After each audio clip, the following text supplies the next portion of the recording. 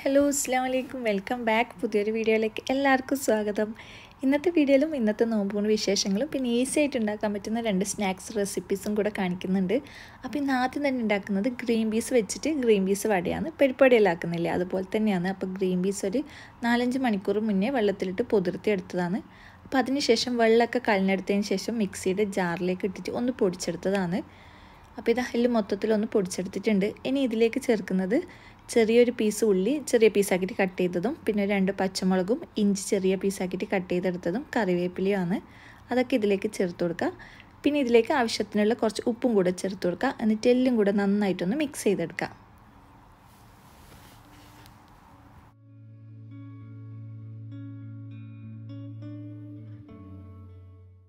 അപ്പോൾ ഇതാ ഒരു പാത്രത്തിലേക്ക് എണ്ണ വെച്ചിട്ടുണ്ട്. എണ്ണ ചൂടായി വന്നാൽ ഓരോന്നായിട്ട് ഇട്ടിട്ട് പൊരിച്ചെടുക്കാം പരിപ്പടയിൽ ഉണ്ടാക്കുന്ന പോലെ തന്നെയാണ്. ഇങ്ങനെ ബോൾസ് ആക്കിയിട്ട് കയ്യിൽ വെച്ചിട്ടൊന്ന് പ്രസ് ചെയ്ത് കൊടുത്താൽ മതി.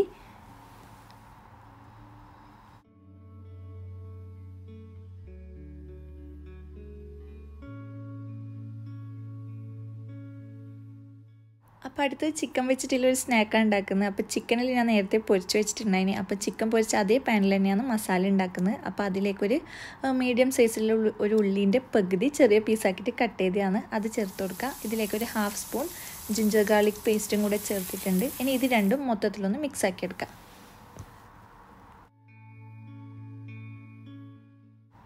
ഇനി ഇതാ ഇതിലേക്ക് ചിക്കൻ ചേർത്ത് കൊടുക്കുക. ഇതിപ്പം ഉപ്പും മുളകും മാത്രം ഇട്ടിട്ടൊന്ന് മിക്സ് ചെയ്തിട്ട് പൊരിച്ചെടുത്ത ചിക്കനാണ് അതൊന്ന് ചെറിയ പീസാക്കിയിട്ട് കട്ട് ചെയ്തിട്ട് ഇതിലേക്ക് ചേർത്തിട്ടുണ്ട്. ഇനി ഇതെല്ലാം കൂടി മൊത്തത്തിലൊന്ന് മിക്സ് ആക്കി എടുക്കുക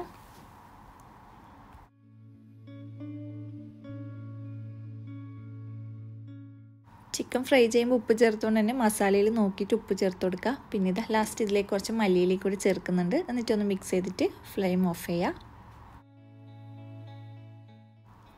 ഇനിയിപ്പോൾ ഇതിലേക്ക് വേണ്ടത് ബ്രെഡാണ്. നാല് ബ്രെഡ് എടുത്തിട്ടുണ്ട്. അപ്പോൾ ഈ ഒരു നാല് ബ്രെഡിന്റെയും സൈഡ് ഒന്ന് കളഞ്ഞെടുക്കുക സൈഡ് കളഞ്ഞതിന് ശേഷം അത് കളയേണ്ട ബ്രെഡ് ക്രംസ് ആവശ്യമുണ്ട്. അപ്പോൾ ആ ഒരു സൈഡ് വെച്ചിട്ട് തന്നെ ഒന്ന് പൊടിച്ചെടുക്കുക ഇനിയിപ്പോൾ ഇതാ ഒരു ബൗളിലേക്ക് നാല് ടേബിൾ സ്പൂൺ മൈദ ചേർത്ത് കൊടുക്കുക എന്നിട്ട് ഇതിലേക്ക് ആവശ്യത്തിനുള്ള വെള്ളം കൂടെ ഒഴിച്ചിട്ട് ഒന്ന് മിക്സ് ചെയ്തെടുക്കുക പിന്നെ ഇത് മിക്സ് ചെയ്തതിൽ നിന്ന് ഒരു രണ്ട് ടേബിൾ സ്പൂൺ വേറൊരു പാത്രത്തിലേക്ക് മാറ്റി വെക്കുക പിന്നെ ബാക്കിയില്ലയിൽ അതായത് ആദ്യം മിക്സ് ചെയ്തതിലേക്ക് ഒരു ഒരു ടേബിൾ സ്പൂൺ കോൺഫ്ലവർ ചേർത്ത് കൊടുക്കുക. എന്നിട്ട് കുറച്ചും കൂടി ഈ ബാറ്റർ ഒന്ന് ലൂസാക്കി എടുക്കണം. അപ്പോൾ കുറച്ചും കൂടി വെള്ളം ഒഴിച്ചിട്ട് മിക്സ് ആക്കുക. പിന്നെ ഇതിലേക്ക് കുറച്ച് ചില്ലി ഫ്ലേക്സ് ചേർക്കുന്നുണ്ട്. കുറച്ച് ഉപ്പും കൂടെ ചേർക്കുന്നുണ്ട്. എന്നിട്ടൊന്ന് മൊത്തത്തിൽ മിക്സ് ചെയ്തെടുക്കുക.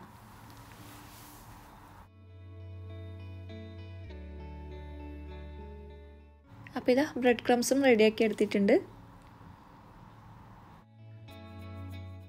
ഇനിയിപ്പോൾ നേരത്തെ സൈഡ് കാലിനെടുത്ത ബ്രെഡില്ലേ അതിൽ നിന്ന് ഓരോന്നായിട്ട് എടുത്തിട്ട് ഇങ്ങനെ റോളർ വെച്ചിട്ട് ഒന്ന് റോൾ ചെയ്ത് കൊടുക്കാം.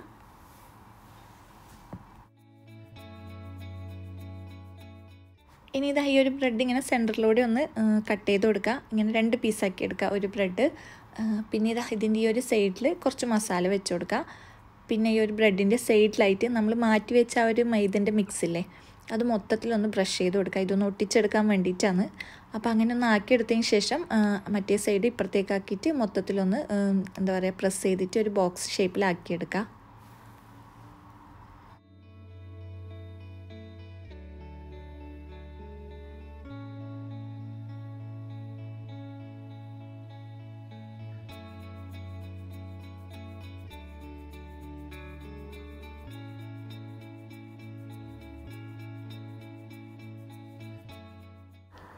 അപ്പോൾ ഇതാ എല്ലാ ബ്രെഡും ഇതുപോലെ ബോക്സ് ആക്കി എടുത്തിട്ടുണ്ട് ഇനിയിപ്പോൾ ഇതാ നമ്മൾ നേരത്തെ റെഡിയാക്കി വെച്ച ഓരോന്നിലേക്കും ഇതൊന്ന് ഡിപ്പ് ചെയ്തെടുക്കണം. ആദ്യം തന്നെ ഈ ഒരു മെയ്തന്റെ മിക്സിലേക്ക് മൊത്തത്തിലൊന്ന് കവർ ചെയ്തെടുക്കുക എന്നിട്ട് ബ്രെഡ് ക്രംസിലിട്ടെടുക്കുക ആദ്യം ഞാൻ ഇങ്ങനെ ആദ്യം മെയ്തന്റെ മിക്സിലും ബ്രെഡ് ക്രംസിലും ഒരേ സമയത്ത് തന്നെ ചെയ്തത്. അങ്ങനെ രണ്ടെണ്ണം ചെയ്ത്. പക്ഷേ കൈക്ക് ഭയങ്കരമായിട്ട് ഇങ്ങനെ ഒട്ടിപ്പിടിക്കുന്നു ബ്രെഡ് ക്രംസ് അപ്പോൾ പിന്നെ വിചാരിച്ച് ആദ്യം ഒരു ബാറ്ററിൽ ഇട്ടിട്ട് എല്ലാം ഒന്ന് കവർ ചെയ്തെടുക്കുക അതിനുശേഷം ബ്രെഡ് ക്രംസിലാക്കി എടുക്കാൻ വെച്ചിട്ട് പിന്നെ അങ്ങനെയാണ് ചെയ്തത്.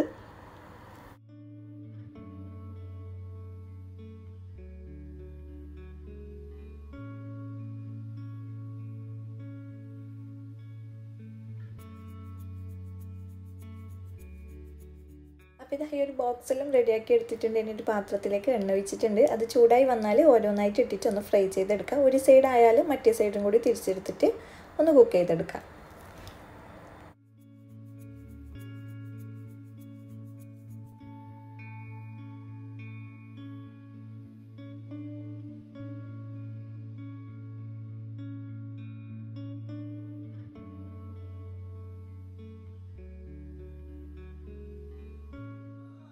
അപ്പോൾ ഇത് സ്നാക്സും ജ്യൂസും ഫ്രൂട്ട്സും എല്ലാം ടേബിളിൽ കൊണ്ടുവച്ചിട്ടുണ്ട്. പിന്നെ അങ്ങനെ നോമ്പ് കുടിക്കലാണ് അപ്പോൾ എപ്പം പറയുന്ന പോലെ തന്നെ ഈ ഒരു സ്നാക്ക് ഉണ്ടാക്കാത്തവരെല്ലാണെങ്കിൽ ഒന്ന് ട്രൈ ചെയ്ത് നോക്കുക പിന്നെ വീഡിയോ കണ്ടിട്ട് ഇഷ്ടമാണെങ്കിൽ ലൈക്ക് ചെയ്യാനും കമന്റ് ചെയ്യാനും സബ്സ്ക്രൈബ് ചെയ്യാനും ഒന്നും മറക്കരുത്. അപ്പോൾ വീണ്ടും കാണാം.